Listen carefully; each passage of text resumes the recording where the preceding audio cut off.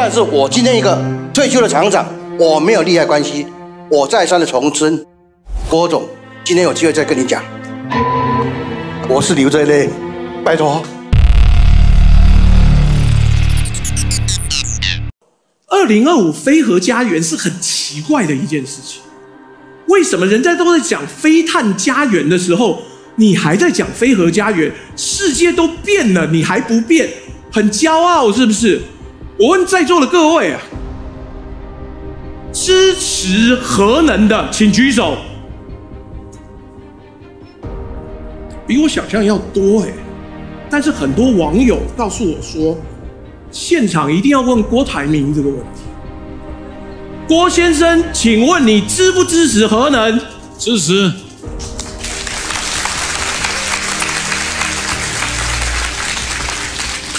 是核能不是因为我们永和，而是二零一八年的时候过了一个公投，叫做以核养绿。我也觉得绿很不错，但不是民进党那个绿。我也觉得绿能很棒，但是。你不能一下子就照进，把所有东西，把我们的公投结果当做屁呀！但是我要再问，有些人说我支持核能，但我不支持核四。好啦，我们问问看，去年有公投对不对？支持核四重启的人请举手。哦，也比我想象的多，但比刚刚少了一点，请放下。核武也可以，但没有命可以盖到那个时候。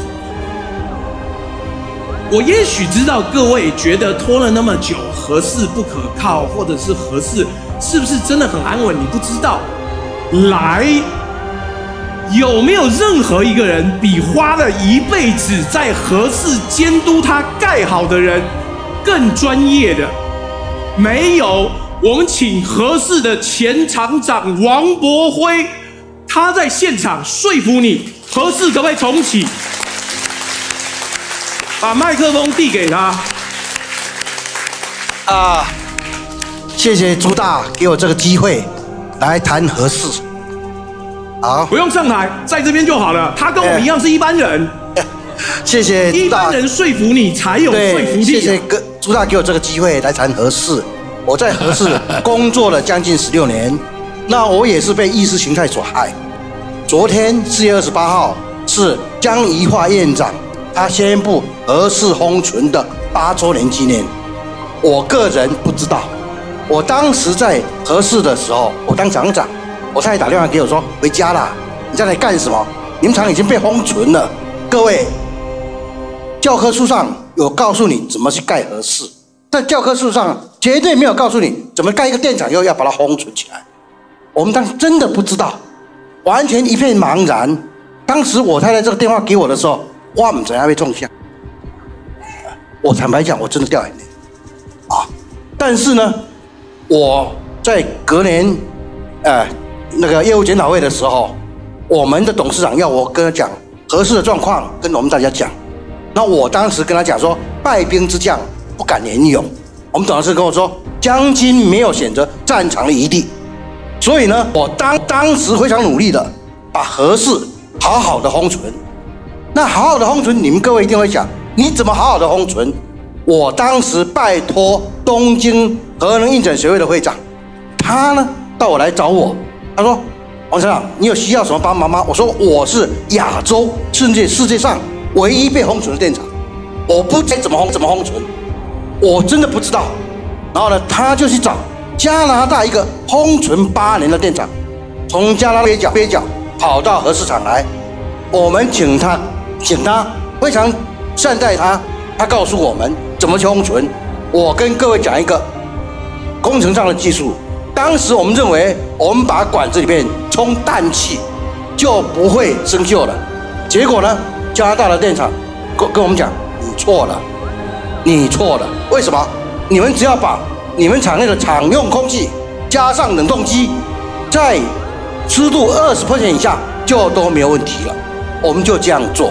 我们就这样做。现在核市场已经封存了八年，我要各位跟各位讲，你们可能都不知道的事情，在第五年的时候，当时我的我的同事告诉我了，把一些重要的设备拆下来，一看跟新的一样，大家都以为说而是封存了不能用，王厂长，看你的背的背后，这就是封存的 现行的核市场的内部，所有的人员进去还要把脚上的泥土给拿干净，而且他们虽然被封存了，到现在八年，从来没有放弃过台湾，但台湾放弃了他们。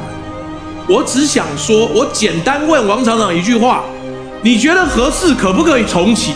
可以，我今天很大声的讲，合适绝对可以重启，合适，而且我要跟郭总讲，合适值得重启。为什么？这个电厂所花的电占台湾十 percent，但台湾十 percent 是什么一个概念呢？一二三四五六七八九十，就有一个电灯是从核市场出来的。然后呢，这个电厂呢，它把所有的核废料、高低价料都放在厂里面。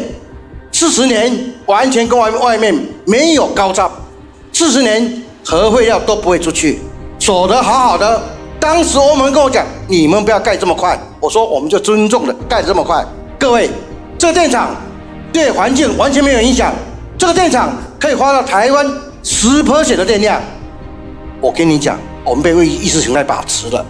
我当时带的人高喊着“台湾人加油”，郭董。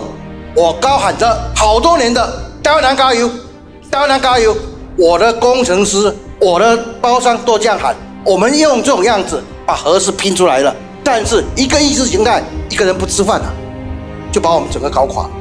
到目前为止，好多人在骂我，说王厂长你是台湾的堂吉诃德，这是不可能的代志。你跟他公没中奖，我退休以后写了他将近七十篇的文章，在风传媒上。我到处的讲，一有人找我去讲，我就去讲。合适，值得开；合适，可以不可以开？可以开。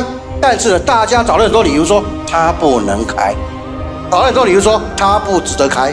但是我今天一个退休的厂长，我没有利害关系，我再三的重申，郭总，今天有机会再跟你讲，拜托，抬起来，拜托，抬起来。我是刘在内，拜托。谢谢王厂长。